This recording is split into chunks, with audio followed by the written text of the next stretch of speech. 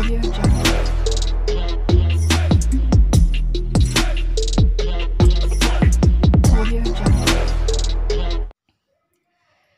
ಸ್ನೇಹಿತರೆ welcome back to my channel ಎಲ್ಲರೂ ಆರಾಮಿದ್ದೀರಿ ಅಂತ ಅಂದ್ಕೊಳ್ತೇನೆ ನೋಡ್ರಿ, ಈಗ ಮಧ್ಯಾಹ್ನ ಹನ್ನೆರಡು ಗಂಟೆ ಆಯಿತು. ಮಾರ್ನಿಂಗ್ ಕೆಲಸ ಎಲ್ಲ ಮುಗೀತು. ಜಸ್ಟ್ ವಾಷಿಂಗ್ ಮಿಷಿನ್ ಬಟ್ಟೆ ಹಾಕಬೇಕು ಅಂತ ಹೊಂಟೇನಿ. ಹೆಚ್ಚಾಗಿ ನಾನು ಸಾಯಂಕಾಲ ಒಗೆದ್ಬಿಟ್ಟಿರ್ತೇನೆ ಎಲ್ಲ ವಾಷಿಂಗ್ ಮಿಷಿನ್ ಹಾಕಿರ್ತೇನೆ ಬಟ್ಟೆ ಎಲ್ಲ. ಬಟ್ ಏನಾಯ್ತಂದರೆ ಸ್ವಲ್ಪ ಎಕ್ಸ್ಟ್ರಾ ಬಟ್ಟೆ ಇತ್ತು. ಇನ್ನು ಸಂಜೆ ಅನ್ನೋಷ್ಟೊತ್ತಿಗೆ ಬಿಸಿಲು ಇರೋದಿಲ್ಲ. ಬಿಸಿಲು ಚಲೋ ಬಿದ್ದಿತ್ತು. ಹಾಗಾಗಿ ವಾಷಿಂಗ್ ಮಿಷಿನ್ಗೆ ಬಟ್ಟೆ ಹಾಕೋಣ ಅಂತ ಎಲ್ಲ ಈ ಕಡೆ ತೊಗೊಂಡು ಬರತ್ತೇನೆ. ಬಕೆಟ್ನಾಗಿನ ಅರ್ವಿ ಎಲ್ಲ.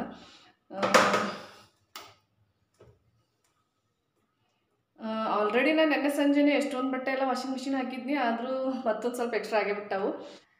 ಎಲ್ಲ ನಾನು ಎರಡು ಮೂರು ದಿವಸಕ್ಕೆ ಒಂದು ಸಾರಿ ಅಂತೂ ಕಂಪಲ್ಸರಿ ವಾಷಿಂಗ್ ಮಿಷಿನ್ ಹಾಕ್ತೀನಿ. ಅಷ್ಟೊಂದೇನಿಲ್ಲ ಬಟ್ ಬಿಸಿಲು ಚಲೋ ಇತ್ತು. ಸ್ವಲ್ಪನೇ ಅದಾವಲ್ಲ, ಹಾಗಾಗಿ ಹಾಕಿಬಿಡೋಣ ಮತ್ತು ನಾಳೆ ಈಗ ಸ್ಯಾಟರ್ಡೆ ಯೂನಿಫಾರ್ಮು ಅದು ಇದು ಇರ್ತವೆ, ಎಲ್ಲ ಸೇರಿ ನಾಳೆ ಸಂಜೆ ಹಾಕಿದ್ರೆ ಆಯಿತು ಅಂದ್ಕೊಂಡು ಈಗ ವಾಷಿಂಗ್ ಮಿಷಿನ್ ಬಟ್ಟೆ ಹಾಕತ್ತಿದ್ನಿ. ಜೊತೆಗೆ ತುಂಬ ಜನ ಕೇಳ್ತಾ ಇರ್ತಾರೆ ನಿಮ್ಮದು ವಾಷಿಂಗ್ ಮಿಷಿನ್ ಯಾವುದು? ಅಂತೇಳಿ ನೋಡಿರಿ ನಮ್ಮದು I F B washing machine top load ತೊಗೊಂಡು ಕರೆಕ್ಟಾಗಿ ಎಂಟು ವರ್ಷ ಆಯಿತು. ಚಿಂಟುಗೆ ಈಗ ಸೆವೆನ್ ಇಯರ್ಸು ಅವ್ನು ಹುಟ್ಟೋಕ್ಕಿಂತ ಮುಂಚೆ ತೊಗೊಂಡಿದ್ದು ಎಂಟು ವರ್ಷ. ಒಂಚೂರು ರಿಪೇರಿ ಬಂದಿಲ್ಲ. ಭಾಳ ಚಲೋ ಬಂದೈತಿ. ಮತ್ತು ಅದ್ರ ಜೊತೆ ನಾವು ಯೂಸ್ ಮಾಡೋದು ಐ ಎಫ್ ಬಿ ಲಿಕ್ವಿಡ ನೋಡ್ರಿ. ಇದನ್ನ ಆ, ಇದನ್ನ ಅಮೆಝಾನ್ ಒಳಗೆ ತರಿಸಿದ್ವಿ. ಹತ್ತು ಬಾಟಲ್ಗೆ ಆಫರ್ ಇತ್ತು. ಸೊ ಭಾಳ ಒಂದು ಏಳೆಂಟು ತಿಂಗಳಂತೂ ಆಯಿತು. ಈಗ ಎಕ್ಸ್ಟ್ರಾ ತೊಗೊಂಡೇ ಇಲ್ಲ. ಇನ್ನೊಂದೆರಡು ಬಾಟಲ್ ಖಾಲಿ ಆದರೆ ಇನ್ನು ಮತ್ತೆ ಬುಕ್ ಮಾಡಬೇಕು. ನನಗೇನೋ ಬೇರೆ ಲಿಕ್ವಿಡ್ಗಿಂತ ಐ ಎಫ್ ಬಿ ಲಿಕ್ವಿಡ್ ಚಲೋ ಅನ್ಸೈತಿ. ಸೊ ಇದನ್ನು ಯೂಸ್ ಮಾಡತ್ತೇವೆ ನಾವು. ಭಾಳ ವರ್ಷ ಆಯಿತು. ನಿಮ್ಮ ವಾಷಿಂಗ್ ಮಿಷಿನ್ ಬಗ್ಗೆ ಹೇಳ್ರಿ ಹೇಳ್ರಿ ಅಂತಿರ್ತಾರೋ. ಈಗೀಗ ನೋಡ್ತಾ ಇರ್ತಾರಲ್ಲ, ಅವರು ಕೇಳ್ತಾನೆ ಇರ್ತಾರೋ ನಿಮ್ದು ಯಾವುದು ವಾಷಿಂಗ್ ಮಿಷಿನ್ ಅಂತ? ಯಾಕಂದ್ರೆ ನಾನು ಆಲ್ರೆಡಿ ಒಂದು ಎರಡು, ಮೂರು ಸಾರಿ ಹೇಳಿದ್ದೀನಿ ಐ ಎಫ್ ಬಿ ಅಂತೇಳಿ ಪರವಾಗಿಲ್ಲ ಡೈಲಿ ಯೂಸ್ದಂತೂ ಆರಾಮಾಗಿ ವಾಶ್ ಆಗ್ತದೆ ಚಲೋ. ನಾನಂತೂ ಯೂನಿಫಾರ್ಮ್ ಎಲ್ಲ ಏನು ಮಾಡ್ತೀನಿ ಅಂದರೆ ಒಂದು ಸ್ವಲ್ಪ ನೆನೆಸಿಟ್ಟು ಕಾಲರ್ ಎಲ್ಲ ವಾಶ್ ಮಾಡಿನೇ ಹಾಕಿರ್ತೀನಿ. ಒಂದು ಎರಡು, ಮೂರು ಸಾರಿ ಹೇಳಿದ್ದೀನಿ ಆದರೂ ಕೂಡ ಕೇಳ್ತಾ ಇರ್ತಾರಲ್ಲ, ಹಾಗಾಗಿ. ಇನ್ನೊಂದು ಸಾರಿ ನಿಮ್ಮ ಜೊತೆ ಶೇರ್ ಮಾಡ್ಕೊಂಡೆ.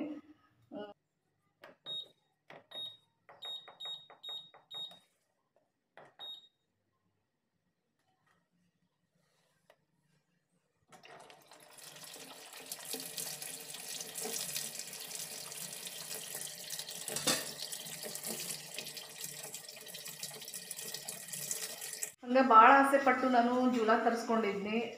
ಅಲ್ಲಿ ಕಾಣಿಸ್ತಾ ಇರ್ಬೋದು ನಿಮ್ಗೆ ಬಾಲ್ಕನಿ ಒಳಗೆ. ಅಲ್ಲಿ ಕೂತ್ಕೊಳ್ಳೋನು ಅಂತ ಹೇಳಿ, ಸಂಜೆ ಹೊತ್ತು ಒಂಥರ ಚಲೋ ಅನ್ಸತ್ತೆ ಕೂತ್ಕೊಳ್ಳೋನು ಅಂತ ಹೇಳಿ. ಮನೆಯವ್ರಿಗೆ ಹೇಳಿ ಅಲ್ಲಿ ಜೂಲ ಹಾಕ್ಸ್ಕೊಂಡು ಬಟ್ ಏನು ಹೇಳ್ತಂದ್ರೆ ಅಲ್ಲಿ ಹೋಗೋಕೆ ನಂಗೆ ಟೈಮ್ ಇಲ್ಲ. ಸಂಜೆ ಆಯ್ತಂದ್ರೆ ಒಂದು ಸ್ವಲ್ಪ ವಾಕ್ ಹೋಗ್ತೀನಿ. ಇಲ್ಲ ಅಂದ್ರೆ ಚಿಂಟುನು ಓದಿಸೋದಿರ್ತೈತಿ, ಅದ್ರೊಳಗೆ ಟೈಮ್ ಹೋಗ್ಬಿಡ್ತೈತಿ. ಯಾವಾಗಾದ್ರೂ ಇಲ್ಲಿ ಮೇಲ್ಗಡೆ ಬಂದಾಗ ಒಂದು ಹತ್ತು ನಿಮಿಷ ಕೂತ್ಕೊಂಡು ಹೋಗಿರ್ತೇನೆ. ನಾನೇನು ಅನ್ಕೊಂಡಿದ್ದೆ ಅಂದ್ರೆ ಡೈಲಿ ಅಲ್ಲೇ ಕೂತ್ಕೊಂಡ್ರಾಯ್ತು ಒಂದು ಹಾಫ್ ಆನ್ ಅವರ್ ಚಂದ ಅನಿಸ್ತದೆ ಸಾಯಂಕಾಲ. ಅಥವಾ ಟೀ ಕುಡ್ಕೊಂಡು ಏನಾದರೂ ಸ್ನ್ಯಾಕ್ಸ್ ತಿನ್ಕೊಂಡು ಕೂತ್ಕೊಳ್ಳೋದು ಚಂದ ಅನ್ಸುತ್ತೆ ಅಂತ ಅನ್ಕೊಂಡಿದ್ದೆ ಏನು ಮಾಡೋದು ಕೆಲಸದೊಳಗೆ ಹೋಗಿಬಿಡ್ತದೆ ಟೈಮು ಚಿಂಟೂನು ಅಷ್ಟ ಸ್ಟಾರ್ಟಿಂಗ್ ಸ್ಟಾರ್ಟಿಂಗ್ ಭಾಳ ಇಂಟ್ರೆಸ್ಟ್ ಕೊಟ್ಟು ಕೂತ್ಕೊಂಡ. ಈಗ ಹಂಗೆ ಐತೆ ನೋಡ್ರಿ, ಅಲ್ಲಿ ಯಾರು ಹೋಗಕ್ಕೆ ತಯಾರಿಲ್ಲ ಯಾಕಂದ್ರೆ ಅವರು ಸ್ಕೂಲ್ ಇರ್ತೈತಿ ಫುಲ್ ಡೇ ಸಂಜೆ ಆದ್ರೆ ಒಂಚೂರು ಟಿ ವಿ ಹೋಮ್ ಹೋಮ್ವರ್ಕ್ ಮಾಡೋಕೆ ಶುರು ಮಾಡಿಬಿಡ್ತಾರೆ, ಅದ್ರಾಗ ಹೋಗ್ಬಿಡ್ತೈತಿ. ನಮ್ಮ ಮನೆಯವ್ರು ಅಂತಿರ್ತಾರೆ, ನೋಡು, ಎಷ್ಟು ಆಸೆ ಪಟ್ಟು ತರಿಸ್ಕೊಂಡು, ಅದ್ರೊಳಗೆ ಕೂತ್ಕೊಂಡೇ ಇಲ್ಲ ನೀನು ಒಂದು ದಿವಸ ಅಂತೇಳಿ ಈಗ ಅಡುಗೆ ಮಾಡ್ಬೇಕು ನಾನು. ನಮ್ಮ ಮನೆಯವರು ಎರಡೂವರೆಗೆ ಹೋಗೋದು ಡ್ಯೂಟಿಗೆ ಮಧ್ಯಾಹ್ನ. ಎರಡು ಗಂಟೆ ಅಷ್ಟೊತ್ತಿಗೆ ಊಟ ಎಲ್ಲ ಮುಗ್ದಿರಬೇಕು. ಈಗ ಶುರು ಮಾಡಿದ್ರೂ ಅಷ್ಟಾಗೆ ಆಗ್ತೈತೆ ಟೈಮು ಆಲ್ರೆಡಿ ಈಗ ಹನ್ನೆರಡು ಗಂಟೆ ಮೇಲಾಯಿತು. ಲೈಟಾಗಿ ಒಂದೊಂದೇ ನಾನು ಕಟ್ ಮಾಡಿಕೊಂಡು ಅಡುಗೆ ಶುರು ಮಾಡೋಷ್ಟೊತ್ತಿಗೆ ಟೈಮ್ ಆಗೇ ಬಿಡ್ತೈತಿ ಇನ್ನು. ಸೊ ಬೇಗ ಬೇಗ ಅಡುಗೆ ಮುಗಿಸಿ ಒಂಚೂರು ರೆಸ್ಟ್ ಮಾಡೋಣ ಅನ್ನೋಷ್ಟೊತ್ತಿಗೆ ಇಬ್ಬರು ಸ್ಕೂಲಿಂದ ಬಂದುಬಿಡ್ತಾರೋ. ಶ್ರೇಯಸ್ ಶ್ರೇಯಸ್ ಅಂತೂ ಆರು ಗಂಟೆಗೆ ಬರ್ತಾನು ಸ್ಕೂಲಿಂದ ಅವನದು ಟ್ಯೂಷನ್ ಮುಗಿಸ್ಕೊಂಡು ಅವ್ನ ಮನೆಗೆ ಬರೋಕೆ ಆರು ಗಂಟೆ ಆಕತಿ. ಇನ್ನೇನು ಎರಡೂವರೆ, ಎರಡು ಮುಕ್ಕಾಲು ನಮ್ಮ ಮನೆಯವ್ರು ಹೋಗಿರ್ತಾರೋ. ಅಷ್ಟೊತ್ತಿಗೆ ಅಂದರೆ ಒಂಚೂರು ಕೂತ್ಕೊಂಡು ಒಂಚೂರು ಹಂಗೆ ರೆಸ್ಟ್ ಮಾಡೋ ಅಷ್ಟೊತ್ತಿಗೆ. ಚಿಂಟು ಬಂದ ಬಿಡ್ತಾನೆ. ಕರೆಕ್ಟಾಗಿ ಮೂರುವರೆ ಮೂರು ನಲ್ವತ್ತಕ್ಕೆ ಅಯ್ಯಪ್ಪ, ಏನಪ್ಪ, ದಿನಾನೇ ಮುಗಿದು ಹೋಯ್ತಲ್ಲ ಅನಿಸ್ಬಿಡ್ತದೆ ನನಗೆ. ಅವ್ನು ಬಂದಿದ್ದು ಮುಗೀತು. ಅವನಿಗೆ ಸ್ನ್ಯಾಕ್ಸ್ ಕೊಡಬೇಕು, ಅವನನ್ನು ಓದಿಸೋದು, ಬರ್ಸೋದು ಮುಗ್ದೇ ಹೋಯ್ತು. ಸಂಜೆನೇ ಆಯಿತು. ಹಿಂಗೆ ಆಗ್ತಿರ್ತೈತಿ. ಅದ್ರ ಜೊತೆ ಇವತ್ತು ಚಿಂಟುನು ಸ್ಕೂಲಿಗೆ ಹೋಗಿಲ್ಲ. ಯಾಕಂದ್ರೆ ಸ್ವಲ್ಪ ಲೈಟಾಗಿ ಅವ್ನಿಗೆ ಹುಷಾರಿಲ್ಲ ಅನ್ನತ್ತಿದ್ದ. ಇನ್ನು ಸ್ಕೂಲಿಗೆ ಹೋದ್ಮೇಲೆ ಏನಾದರೂ ಜಾಸ್ತಿ ಅನಿಸಿದ್ರೆ ಇನ್ನು ಫೋನ್ ಮಾಡಿ ಕರೆಸಿ ಮನೆ ಕಳಿಸ್ಬಿಡ್ತಾರೆ ಅವ್ರು ಸ್ಕೂಲಿಂದ ಮತ್ತು ಅವನಿಗೂ ನಾವು ಫೋರ್ಸ್ ಮಾಡಿ ಕಳಿಸಿದ್ರೆ ರೆಸ್ಟ್ ಇಲ್ಲಂಗೆ ಅನಿಸ್ತೈತಿ, ಮತ್ತು ನಾಳೆ ಜಾಸ್ತಿ ಆದ್ರೆ ಏನು ಮಾಡೋದು ಅಂದ್ಕೊಂಡು ನಾವು ಕಳಿಸ್ಲಿಲ್ಲ. ಸೊ ಮನೆಯಾಗ ಅದಾನು, ಒಂದು ಮಂಡೆಯಿಂದ ಟೆಸ್ಟು ಸೊ ಪೋರ್ಷನ್ ಸ್ಲಿಪ್ ಹೆಂಗೂ ಕೊಟ್ಟಾರಲ್ಲ, ಮನೆಯಾಗ ನಾನು ಬೆಳಗ್ಗೆ ಒಂಚೂರು ಓದಿಸಿದ್ನಿ, ಎಲ್ಲ ಪ್ರಾಕ್ಟೀಸ್ ಮಾಡ್ಸತ್ತೇನೆ ಮಂಡೆಯಿಂದ ಟೆಸ್ಟ್ ಅದು ಟೆನ್ಷನ್ ಅವನಿಗೆ. ಟೆಸ್ಟ್ ಐತಿ, ನಾನು ಬರಿಬೇಕು, ನಾನು ಸ್ಕೂಲ್ಗೆ ಹೋಗಬೇಕು ಅನ್ನತ್ತಿದ್ದ, ಬೇಡ ಇವತ್ತೊಂದು ದಿವಸ ರೆಸ್ಟ್ ಮಾಡಂತೇಳಿ ಮನೆಯಾಗ ಇಟ್ಕೊಂಡೇವಿ. ವೆದರ್ನು ಸ್ವಲ್ಪ ಚಳಿ ಜಾಸ್ತಿ ಐತಿ. ಎಲ್ಲರಿಗೂ ಹಂಗೆ ಅಂತ ಹೇಳ್ಬೋದು, ಎಲ್ಲ ಮಕ್ಳಿಗೂ ನನ್ನ ಫ್ರೆಂಡ್ಸ್ ಮಕ್ಕಳಿಗೆಲ್ಲ ಅವರು ಹೇಳತ್ತಿದ್ರು ಕೋಲ್ಡು ಸ್ವಲ್ಪ ಹುಷಾರಿಲ್ಲ ಅಂತ. ಸೊ ಸ್ಕೂಲ್ ಒಳಗೆಲ್ಲ ಬಂದಿರ್ತೈತಲ್ಲ, ಸ್ವಲ್ಪ ಅವ್ರ ಇವರಿಂದ ಸ್ವಲ್ಪ ಅವ್ನಿಗೂ ಎಫೆಕ್ಟ್ ಆಗೈತಿ. ರೆಸ್ಟ್ ಮಾಡಿ ನಾಳೆ ಸ್ಕೂಲಿಗೆ ಕಳಿಸ್ಬೇಕು. ನಾಳೆ ಶನಿವಾರ, ನಾಳೆ ಹಾಫ್ ಡೇ ಇರ್ತದೆ ಸ್ಕೂಲು ಮಂಡೆಯಿಂದ ಟೆಸ್ಟ್ ಇರೋದ್ರಿಂದ ಅವನನ್ನು ಪ್ರಿಪೇರ್ ಮಾಡತ್ತೇನೆ. ಬೆಳಿಗ್ಗೆ ಎಷ್ಟೊಂದು ಸ್ವಲ್ಪ ಬರ್ಸಿದ್ನಿ. ಇಲ್ಲಾಂದ್ರೆ ಮಂಡೇ ಡೈರೆಕ್ಟಾಗಿ ಸ್ಕೂಲ್ಗೆ ಹೋದರೆ ಟೆಸ್ಟ್ ಒಳಗೆ ಗೊತ್ತಾಗೋದಿಲ್ಲ. ಜೊತೆಗೆ ಅವನು ಲಾಸ್ಟ್ ಟೈಮ್ ಆನ್ಲೈನ್ ಒಳಗೆ ಇದ್ದಲ್ಲ ಹಾಗಾಗಿ ಇಲ್ಲೇ ಕುಂತ ನೋಟು ಚಿಂಟು. ಟಿ ವಿ ನೋಡ್ಕೊಂಡು ಮಹಾರಾಜ ಈಗ ಅಡುಗೆ ಮಾಡಬೇಕು, ಅಡುಗೆಗೆ ನಾನು ಚಪಾತಿ ಮಾಡಬೇಕು ಅಂತ ಅಂದ್ಕೊಂಡಿದ್ದೆ ಚಪಾತಿ, ಹಾಗಲಕಾಯಿ ಪಲ್ಯ ಏನಾಯ್ತು ಏನಾಯ್ತಂದ್ರೆ ಚಪಾತಿ ಹಿಟ್ಟು ಖಾಲಿ ಆಗೈತಿ. ಹಾಗಾಗಿ ಇವತ್ತು ಜಸ್ಟ್ ರೈಸು ಮೂಲಂಗಿ ಸಾಂಬಾರು ಮಾಡಬೇಕು ಅಂತ ಅಂದ್ಕೊಂಡೀನಿ ಮೂಲಂಗಿ ಸಾಂಬಾರು ಎಲ್ಲರೂ ಇಷ್ಟಪಡ್ತಾರೆ ಚಿಂಟೂರು ಮನೆಯಾಗ ಅದನ್ನೆಲ್ಲ ಹಾಗಾಗಿ ಮೂಲಂಗಿ ಸಾಂಬಾರು ಮಾಡತ್ತೇನೆ. ಸೊ ಮೂಲಂಗಿ ಸಾಂಬಾರು ಹೆಂಗೆ ಮಾಡ್ತೀನಿ ಅಂತ ಶೇರ್ ಮಾಡ್ಕೊತೀನಿ. ನಿಮ್ಮ ಜೊತೆ ಮಾತಾಡ್ತಾ ಮಾತಾಡ್ತಾ ನಾನೀಗ. ಆಲ್ರೆಡಿ ಸಾಂಬಾರು ಮಾಡೋಕ್ಕೆ ನಾನು ತೊಗರಿ ಬೇಳೆನ ಒಂದು ಅರ್ಧ ಗಂಟೆ ನೆನೆಸಿಟ್ಕೊಂಡಿದ್ನಿ. ಇದನ್ನು ಈಗ ಕುದಿಯೋಕೆ ಹಾಕ್ಕೊಂಡೆ ನೋಡಿರಿ. ಒಂದು ಕಪ್ಪು ತೊಗರಿ ಬೇಳೆಗೆ ಒಂದು ಮೂರಿಂದ ನಾಲ್ಕು ಕಪ್ಪು ನೀರು ಹಾಕ್ಕೊಂಡು ನೆಕ್ಸ್ಟು ಸ್ವಲ್ಪ ಅರಿಶಿನ ಆಮೇಲೆ ಒಂದು ಹತ್ತು ಹೆಸರು ಬೆಳ್ಳುಳ್ಳಿನ ಹಾಕ್ಕೊಳತ್ತೇನೆ ಅದಾದಮೇಲೆ ಕರಿಬೇವನ್ನ ಕೈಯಿಂದಾನೇ ಕಟ್ ಮಾಡಿ ಹಾಕೊಳತ್ತೀನಿ. ಒಂಥರ ಫ್ಲೇವರ್ ಚಲೋ ಬರ್ತೈತೆ ಹಾಗಾಗಿ. ಅದಾದಮೇಲೆ ಒಂದು ಮೀಡಿಯಮ್ ಸೈಜ್ ಉಳ್ಳಾಗಡ್ಡಿನ ಉದ್ದುದ್ದಕ್ಕೆ ಕಟ್ ಮಾಡಿ ಹಾಕೊಳತ್ತೀನಿ. ನೆಕ್ಸ್ಟು ಒಂದು ಟೊಮ್ಯಾಟೊ ನೀವು ಬೇಕು ಅಂದರೆ ಒಂದು ಚಮಚ ಕುಕ್ಕಿಂಗ್ ಆಯಿಲ್ ಕೂಡ ಸೇರಿಸ್ಕೋಬೋದು. ಬೇಳೆ ಇನ್ನೂ ಬೇಗ ಬೇಯ್ತಾವು. ತೊಗರಿ ಬೇಳೆನ ಮೂರಿಂದ ನಾಲ್ಕು ವಿಜಲ್ ನಾನು ಕುಗಿಸ್ಕೊಳತ್ತೀನಿ. ಬೇಳೆ ಚೆಂದಾಗೆ ಬೇಯಬೇಕು ಹಾಗಾಗಿ. ತೊಗರಿ ಬೇಳೆ ಕುದಿಯೋ ಅಷ್ಟೊತ್ತಿಗೆ ನಾನಿಲ್ಲಿ ಹಸಿ ಕೊಬ್ಬರಿನ ಮಿಕ್ಸಿ ಜಾರಿಗೆ ಹಾಕ್ಕೊಳತ್ತೀನಿ. ನೀವು ತುರ್ಕೊಂಡಾದರೂ ಹಾಕ್ಕೋಬೋದು. ನಾನು ಅರ್ಧ ಬಟ್ಲೊಳಗೆ ಕಾಲು ಬಟ್ಲು ಹಸಿಕಾಯಿ ಹಾಕ್ಕೊಳತ್ತೀನಿ. ತೆಂಗಿನಕಾಯಿನ ಪೀಸ್ ಮಾಡಿ next M T R spicy sambar ಪೌಡ್ರನ್ನ ಹಾಕ್ಕೊಳತ್ತೀನಿ. ಒಂದು ಮೂರು ಚಮಚದಷ್ಟು ಅದಾದಮೇಲೆ ರುಬ್ಕೊಳ್ಳೋಕೆ ಬೇಕಾದಷ್ಟು ನೀರು. ಇದನ್ನು ಚೆನ್ನಾಗೆ ಪೇಸ್ಟ್ ಮಾಡ್ಕೋಬೇಕು ನೋಡ್ರಿ ಈ ಥರ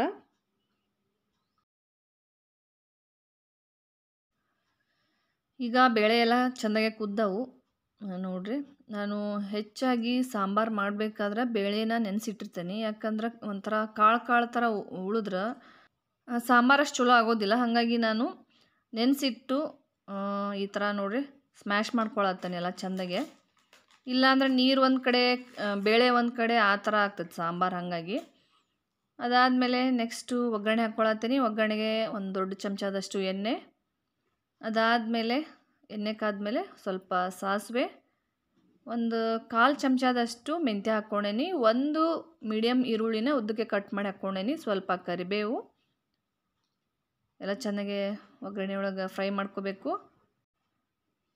ನೆಕ್ಸ್ಟ್ ಈಗ ನಾನು ಎರಡು ಮೀಡಿಯಮ್ ಸೈಜ್ ಮೂಲಂಗಿನ ಈ ಥರ ರೌಂಡ್ ರೌಂಡ್ ಶೇಪ್ ಒಳಗೆ ಕಟ್ ಮಾಡ್ಕೊಂಡೇನಿ. ಫುಲ್ ಸಣ್ಣಗೆ ಕಟ್ ಮಾಡ್ಕೋಬಾರ್ದು. ಸ್ವಲ್ಪ ದಪ್ಪ ಇಟ್ಕೊಂಡು ರೌಂಡ್ ಶೇಪ್ ಒಳಗೆ ಕಟ್ ಮಾಡ್ಕೋಬೇಕು. ಯಾಕಂದ್ರೆ ಕುದ್ದ ಮೇಲೆ ಬೇಗ ಒಂಥರ ಪುಡಿ ಪುಡಿ ಆದಂಗೆ ಆಗಕ್ಕೆ ಶುರು ಆಗಿಬಿಡ್ತಾವೆ ಸಾಂಬಾರೊಳಗೆ ಮೂಲಂಗಿ ಹಾಗಾಗಿ. ನೆಕ್ಸ್ಟ್ ಈಗ ನಾನು ರುಚಿಗೆ ತಕ್ಕಷ್ಟು ಉಪ್ಪು ಹಾಕ್ಕೊಂಡೇನಿ. ಅದಾದಮೇಲೆ ಈಗ ನಾನು ಆಲ್ರೆಡಿ ಎಲ್ಲ ಮಸಾಲೆ ರುಬ್ಕೊಂಡು ಇಟ್ಕೊಂಡಿದ್ನಲ್ಲ, ಅದನ್ನು ಸೇರಿಸ್ಕೊಳತ್ತೇನೆ ನೋಡ್ರಿ. ಇದನ್ನೇನು ಕುದಿಸ್ಕೊಂಡು ಒಗ್ಗರಣೆಗೆ ಸೇರಿಸ್ಕೋಬೇಕು ಅಂತ ಏನಿಲ್ಲ. ಒಗ್ಗರಣೆ ಒಳಗನ ಒಂದು ಸ್ವಲ್ಪ ನೀರು ಹಾಕಿ ಒಂದು ಐದು ನಿಮಿಷ ಬೇಯಿಸಿದ್ರೆ ಚಲೋ ಬೇಯ್ತಾವು ಮೂಲಂಗಿ. ಈಗ ಸಾಂಬಾರ್ಗೆ ಏನು ರುಬ್ಕೊಂಡಿದ್ನಲ್ಲ ನಾನು, ಕಾಯ್ದು ಅದೆಲ್ಲ ಮಸಾಲೆ ನಾನು ಹಾಕ್ಕೊಳತ್ತೇನೆ ಒಗ್ಗರಣೆ ಒಳಗೆ. ಸ್ವಲ್ಪ ನೀರು ಹಾಕ್ಕೊಂಡೇನಿ. ಒಂದು ಐದು ನಿಮಿಷ ಮೀಡಿಯಮ್ ಉರಿ ಒಳಗೆ ಕುದಿಸ್ಕೊಂಡ್ರೆ ಸಾಕು, ಮೂಲಂಗಿ ಬೆಂದ್ಬಿಡ್ತಾವು. ನೋಡ್ರಿ ಈಗ ಒಂದು ಐದು ನಿಮಿಷ ಆಯಿತು. ಮಸಾಲೆ ಎಲ್ಲ ಚೆಂದಾಗೆ ಹಿಡ್ಕೊಂಡೈತಿ ಮೂಲಂಗಿ. ಪೂರ್ತಿ ಏನು ಮೂಲಂಗಿ ಬೇಯೋದು ಬೇಕಾಗಿಲ್ಲ. ಒಂದು ಸೆವೆಂಟಿ ಪರ್ಸೆಂಟ್ ಬೆಂದರೆ ಸಾಕು. ಯಾಕಂದರೆ ಇನ್ನೂ ನಾವು ತೊಗರಿಬೇಳೆ ಎಲ್ಲ ಹಾಕಿ ಕುದಿಸ್ಕೋಬೇಕಲ್ಲ, ಅವಾಗ ಇನ್ನೂ ಬೇಯ್ತಾವು. ಈಗ ನಾನು ಆಲ್ರೆಡಿ ಬೇಯಿಸ್ಕೊಂಡು ಇಟ್ಕೊಂಡಿರೋ ತೊಗರಿ ಬೇಳೆನ ಹಾಕ್ಕೊಳತ್ತೇನೆ ನೋಡಿರಿ ಒಗ್ಗರಣೆ ಒಳಗೆ. ಇದನ್ನು ಒಂದು ಐದರಿಂದ ಎಂಟು ನಿಮಿಷ ಮೀಡಿಯಮ್ ಉರಿ ಒಳಗೆ ಚೆಂದಾಗೆ ಕುದಿಸ್ಕೋಬೇಕು. ಈಗ ಒಂದು ಅರ್ಧ ಲೋಟದಷ್ಟು ಹುಣಸೆ ಹಣ್ಣಿನ ಹುಳಿ ಸೇರಿಸ್ಕೊಳತ್ತೀನಿ. ನಿಮಗೆ ಹುಳಿ ಇನ್ನೊಂದು ಸ್ವಲ್ಪ ಜಾಸ್ತಿ ಬೇಕು ಅಂದ್ರೂ ಹಾಕ್ಕೋಬೋದು. ನಮ್ಮ ಮನೆಯಲ್ಲಿ ಅಷ್ಟೊಂದು ಹುಳಿ ತಿನ್ನೋದಿಲ್ಲ, ಹಾಗಾಗಿ ಮೀಡಿಯಮ್ ಆಗಿ ನಾನು ಸೇರಿಸ್ಕೊಂಡೇನಿ ಹುಳಿನ. ಈಗ ಐದರಿಂದ ಎಂಟು ನಿಮಿಷ ಚೆಂದಾಗಿ ಕುದಿಸ್ಕೊಂಡೆ ನಾನು ಮೀಡಿಯಮ್ ಉರಿ ಒಳಗೆ ಸಾಂಬಾರನ್ನ ನೋಡಿರಿ, ಘಮ್ ಅನ್ನತ್ತಿತ್ತು ಮಸಾಲೆ ಎಲ್ಲ ಹಾಕಿದ್ದೇವಲ್ಲ ಈಗ ಕೊನೆಯದಾಗಿ ನಾನು ಕೊತ್ತಂಬರಿ ಸೊಪ್ಪನ್ನು ಸಣ್ಣದಾಗೆ ಕಟ್ ಮಾಡಿ ಹಾಕ್ಕೊಂಡೇನೆ.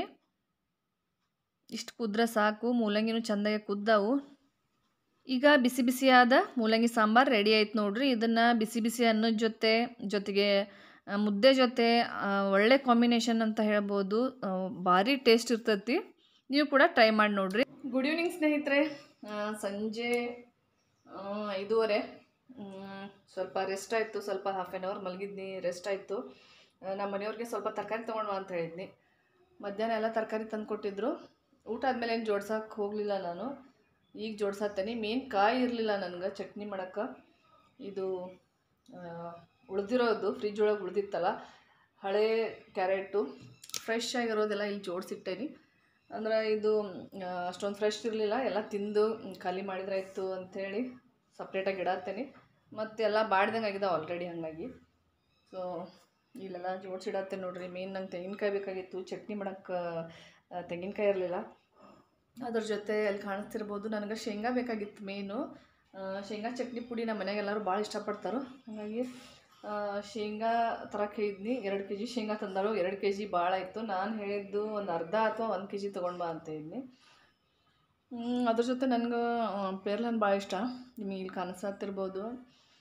ತೊಗೊಂಡು ಬಾ ಅಂತ ಇದ್ನಿ. ಆಲ್ರೆಡಿ ತಿಂದಾಯ್ತು ಮಧ್ಯಾಹ್ನ ಎರಡು. ಅದು ಹೆಲ್ತ್ಗೂ ಭಾಳ ಚಲೋ ಪೇರ್ಲನ್ನು. ಅಂದ್ರೆ ಈ ಕಡೆ ಸೀಬೆಕಾಯಿ ಅಂತಾರೋ. ಸೊ, ಎಲ್ಲ ಜೋಡಿಸಿಡತ್ತೇನೆ ಕರಿಬೇವು, ಕೊತ್ತಂಬರಿ ಮೇನ್ ಇದಿಲ್ಲದೆ ಅಡುಗೆನ ಆಗೋದಿಲ್ಲ. ಇದು ಕೂಡ ಖಾಲಿಯಾಗಿತ್ತು ಹಂಗೆ ಕ್ಯಾಪ್ಸಿಕಮ್ ನೋಡ್ರಿ, ಇವು ಹಳೆ ಸ್ಟಾಕು ಒಂದು ನಾಲ್ಕೈದು ದಿವಸದ್ದು ಇದೆಲ್ಲ ನಾನು ಅಡುಗೆಗೆ ಯೂಸ್ ಮಾಡಬೇಕು. ವೇಸ್ಟ್ ಆಗಿಬಿಡ್ತಾವಲ್ಲ ಅಂದ್ರೆ. ಮತ್ತು ಶುಂಠಿ ನಾನು ತೊಗೊಂಡು ಬಾ ಅಂತ ಹೇಳಲಿಲ್ಲ. ಆಲ್ರೆಡಿ ಇತ್ತು. ಈ ಥರ ಇದ್ರೆ ಏನಾಗ್ತೈತಿ, ಹಳೆ ಶುಂಠಿ ಖಾಲಿ ಆಗುವಷ್ಟೊತ್ತಿಗೆ ಇವೆಲ್ಲ ಸುಮ್ಮನೆ ಬಾಡ್ ಹೋಗಿಬಿಡ್ತಾವು. ನಾನು ಹೇಳಿರಲಿಲ್ಲ ಅವ್ರು ತೊಗೊಂಡು ಬಂದರು. ಅದ್ರ ಜೊತೆ ಗೋಧಿ ಹಿಟ್ಟು ಅಷ್ಟೇ. ನಾನು ಮಧ್ಯಾಹ್ನ ಗೋಧಿ ಹಿಟ್ಟು ಖಾಲಿ ಆಗೈತೆ ಅಂತ ಹೇಳತ್ತಿದ್ನಿ ಒಂದು ಹತ್ತು ಕೆ ಜಿ ಗೋಧಿ ಹಿಟ್ಟು ಹಾಕ್ಸ್ಕೊಂಡು ಬಂದಾರು ಇಷ್ಟು ಹಾಕ್ಸ್ಕೊಂಡು ಬಂದ್ರೆ ನಂಗೆ ಹೆಚ್ಚು ಕಮ್ಮಿ ಒಂದು ತಿಂಗಳಂತೂ ಆಗೇ ಆಗ್ತೈತಿ. ಸೊ ಈಗ ಎಲ್ಲ ತರಕಾರಿನೂ ಈಗ ಪಟ್ಪಟ ಅಂತ ಜೋಡಿಸಿಟ್ಕೋಬೇಕು. ಅದಾದಮೇಲೆ ಒಂದು ಕಾಲು ಗಂಟೆ ಟೆರೆಸ್ ಮೇಲೆ ವಾಕ್ ಮಾಡಬೇಕಂತ ಅಂದ್ಕೊಂಡೇನಿ ಎಷ್ಟು ತಂಪೈತೆ ಅಂದ್ರೆ ಫುಲ್ ಮಳೆ ಬರೋ ಥರ ಐತಿ. ಒಂದೊಂದು ದಿವಸ ಇಷ್ಟೊತ್ತಿಗೆ ಎಷ್ಟು ಬಿಸಿಲು ಇರ್ತೈತಿ. ಇವತ್ತು ಫುಲ್ ಅಂದರೆ ಡೈಲಿ ಇಷ್ಟೊತ್ತಿಗೆ ಬರೀ ಈ ಥರನ ವೆದರ್ ಐತಿ. ಮಧ್ಯಾಹ್ನ ಅಂತೂ ಫುಲ್ ಬಿಸಿಲಿತ್ತು. ಈಗ ಇಲ್ಲೇ ಟೆರೆಸ್ ಮೇಲೆ ವಾಕ್ ಮಾಡಬೇಕಂತ ಅಂದ್ಕೊಂಡೇನಿ ನಿನ್ನೆಯಿಂದ ಅಂದ್ಕೊಳತ್ತೇನೆ ಆಗಿಲ್ಲ. ಸೊ ಅಟ್ಲೀಸ್ಟ್ ಒಂದು ಹಾಫ್ ಆ್ಯನ್ ಅವರ್ ಆದರೂ ಮಾಡೋಣ ಅಂತ ಶುರು ಮಾಡತ್ತೇನೆ ಈಗ.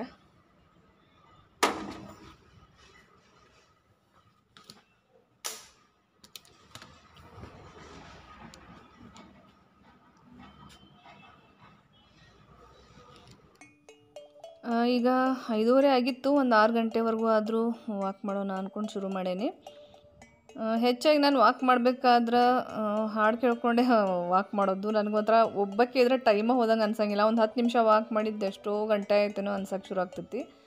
ಯಾಕಂದರೆ ನನಗೂ, ನಾನು ವಾಕ್ ಮಾಡಬೇಕಾದ್ರೆ ನಾನು ಫ್ರೆಂಡ್ಸ್ ಜೊತೆ ಆದರೂ ವಾಕ್ ಮಾಡೇ ಮಾಡ್ತೀನಿ. ಒಬ್ಬಕ್ಕೆ ಅಂತೂ ಹೋಗೋದಿಲ್ಲ. ಒಬ್ಬಕ್ಕೆ ಹೋಗೋದಿದ್ರೆ ಸಾಂಗ್ಸ್ ಕೇಳ್ಕೊಂಡು ವಾಕ್ ಮಾಡ್ತೀನಿ ಕಂಪಲ್ಸರಿ ಬೋರ್ ಆಗೋಕ್ಕೆ ಶುರು ಆಗ್ಬಿಡ್ತೈತೆ ನನಗೆ.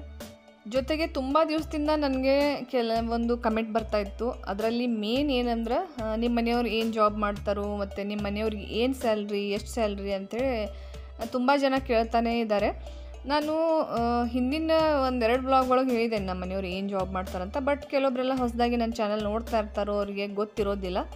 ಸೊ ಹಾಗಾಗಿ ನಾನು ಹೇಳಕತ್ತೇನೆ. ನಮ್ಮ ಮನೆಯವ್ರು ಜಾಬ್ ಮಾಡ್ತಾ ಇರೋದು ಸೆಂಟ್ರಲ್ ಗೌರ್ಮೆಂಟ್ ಬ್ಯಾಂಕಲ್ಲಿ ಅವರು ಸೆಂಟ್ರಲ್ ಗೌರ್ಮೆಂಟ್ ಬ್ಯಾಂಕ್ ಎಂಪ್ಲಾಯಿ ಮತ್ತು ಏನು ಸ್ಯಾಲ್ರಿ ಅಂತಲೂ ತುಂಬ ಜನ ಕೇಳ್ತಾ ಇರ್ತಾರೋ. ಸ್ಯಾಲ್ರಿ ಚಲೋ ಐತಿ. ನಮ್ಮ ಜೀವನಕ್ಕೆ ಎಷ್ಟು ಬೇಕು ಅದಕ್ಕಿಂತ ಹೆಚ್ಚನ ಐತೆ ಅಂತ ಹೇಳ್ಬೋದು. ಆರಾಮಾಗಿ ನಾವು ಲಕ್ಸುರಿ ಲೈಫನ್ನು ಲೀಡ್ ಮಾಡ್ಬೋದು. ಅಷ್ಟಂತೂ ಐತಿ. ಎಷ್ಟು ಅಂತ ಕರೆಕ್ಟಾಗಿ ಹೇಳೋಕ್ಕಾಗೋದಿಲ್ಲ. ಎಲ್ಲ ಪರ್ಸ್ನಲ್ ಆಗಿರೋದನ್ನು ತೀರಾ ಹೇಳೋಕ್ಕಾಗೋದಿಲ್ಲ. ಹಾಗಾಗಿ ನಾನು ಒಂದು ಅಂದಾಜು ಮೇಲೆ ಹೇಳಕತ್ತೇನೆ. ಜಾಬು ಚಲೋ ಐತಿ. ಸೆಂಟ್ರಲ್ ಗೌರ್ಮೆಂಟ್ ಬ್ಯಾಂಕ್ ಆಗಿರೋದ್ರಿಂದ ಸ್ಯಾಲ್ರಿನೂ ಚಲೋ ಐತಿ. ಹಾಗಾಗಿ ಏನು ತೊಂದರೆ ಇಲ್ಲ. ದೇವ್ರ ದಯೆಯಿಂದ ಆರಾಮಾಗಿ ದೇವಿ ನಮ್ಮ ಮನೆಯವ್ರು ಯಾವಾಗಲೂ ಹೇಳ್ತಾ ಇರ್ತಾರೆ ನನಗೆ, ನಾನು ಫಸ್ಟ್ ಮೈಸೂರಿಗೆ ಬಂದಾಗ ನನ್ನ ಹತ್ರ ಏನೂ ಇರಲಿಲ್ಲ. ಬರೀ ಒಂದು ಸೂಟ್ಕೇಸ್ ತೊಗೊಂಡು ಬಂದಿದ್ನಿ. ನಾನು ಏನೇ ಒಂದು ನಾನು ಗಳಿಸಿದ್ರು ಎಲ್ಲ ನನ್ನ ಜಾಬಿಂದನ ಅಂತ ಹೇಳ್ತಿರ್ತಾರೋ, ಯಾವಾಗಲೂ ಅದೊಂದು ಅವ್ರಿಗೆ ಮನಸ್ಸೊಳಗೆ ಭಾಳ ಐತಿ. ನಾನು ಕಷ್ಟಪಟ್ಟು ಓದಿದ್ದಕ್ಕೂ ನಾನು ಆರಾಮದೇನಿ ನಿಮ್ಮನ್ನೆಲ್ಲ ಚೆನ್ನಾಗಿ ನೋಡ್ಕೊಳತ್ತೇನೆ ಅಂತ ಹೇಳ್ತಿರ್ತಾರೆ ಯಾವಾಗಲೂ. ಸೊ ಸ್ನೇಹಿತರೆ, ನೋಡ್ರಿ ಈಗ ಎಂಟು ಗಂಟೆ ಆಗೈತಿ. ಚಿಂಟೂನು ಈಗ ಡ್ರಾಯಿಂಗ್ ಮಾಡತ್ತಿದ್ದ. ಯಾಕಂದ್ರೆ ನಾಳೆ ಅವನು ಡ್ರಾಯಿಂಗ್ ಕಾಂಪಿಟೇಷನ್ ಐತಿ. ಇವನು ಎರಡು ದಿವಸ ಸ್ಕೂಲ್ ಹೋಗಿರಲಿಲ್ಲ, ನನಗೆ ಗೊತ್ತೇ ಇರಲಿಲ್ಲ. ಅವ್ರ ಫ್ರೆಂಡ್ ಅಮ್ಮನಿಗೆ ನಾನು ಫೋನ್ ಮಾಡಿ ಕೇಳಿದ್ನಿ. ನಾಳೆ ಡ್ರಾಯಿಂಗ್ ಕಾಂಪಿಟೇಷನ್ ಐತೆ ಅಂತ ಹೇಳಿದರು. ಸೊ ಸಡನ್ನಾಗಿ ಏನು ಮಾಡಿಸ್ಬೇಕು ನಾಳೆ ಕಾಂಪಿಟೇಷನ್ಗೆ ಅಂತ ಗೊತ್ತಾಗಲಿಲ್ಲ. ಸೊ ಹಾಗಾಗಿ ಒಂದು ಪೆಂಗ್ವಿನ್ ಡ್ರಾ ಮಾಡಿಕೊಟ್ಟೆ ನೋಡ್ರಿ. ನನಗೆ ಈ ಥರ ಡ್ರಾಯಿಂಗ್ ಎಲ್ಲ ಮಾಡೋದು ಭಾಳ ಇಷ್ಟ. ಸೊ ಅವ್ನಿಗೆ ಹೇಳ್ಕೊಡತ್ತಿದ್ನಿ ಇಷ್ಟ ನೀನು ಸಿಂಪಲ್ ಆಗಿರೋದು ಮಾಡು ಇನ್ನೇನು ಒಂದು ದಿವ್ಸದೊಳಗೆ ಏನು ಕಲಿಯೋಕೆ ಆಗೋದಿಲ್ಲ ಅಂತ ಹೇಳಿ. ತೋರಿಸಿ ಯಾವ ಥರ ಮಾಡತ್ತಿ? ಫಸ್ಟ್ ಟೂ ಥರ ಮಾಡಬೇಕು.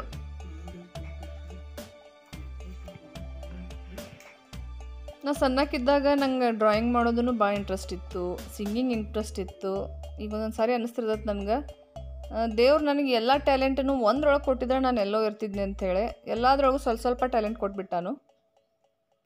ಸೊ ಸ್ನೇಹಿತರೆ, ಇವತ್ತಿನ ವ್ಲಾಗ್ನ ಇಲ್ಲಿಗೆ ಏನು ಮಾಡತ್ತೇನೆ. ಐ ಹೋಪ್ ನಿಮ್ಮೆಲ್ರಿಗೂ ಇವತ್ತಿನ ವ್ಲಾಗ್ ಇಷ್ಟ ಆಗೈತೆ ಅಂತ ಅಂದ್ಕೊಳ್ತೇನೆ ಇಷ್ಟ ಆದ್ರೆ ಲೈಕ್ ಮಾಡಿರಿ ಶೇರ್ ಮಾಡಿರಿ, ಹಾಗೆ ಸಬ್ಸ್ಕ್ರೈಬ್ ಮಾಡ್ಕೊಳ್ಳೋದನ್ನು ಮರಿಬೇಡ್ರಿ. ಮತ್ತು ಸಿಗೋನು ಆದಷ್ಟು ಬೇಗ ಮುಂದಿನ ವ್ಲಾಗಲ್ಲಿ ಅಲ್ಲಿವರೆಗೂ ಎಲ್ರಿಗೂ ನಮಸ್ಕಾರ. Thank you bye bye take care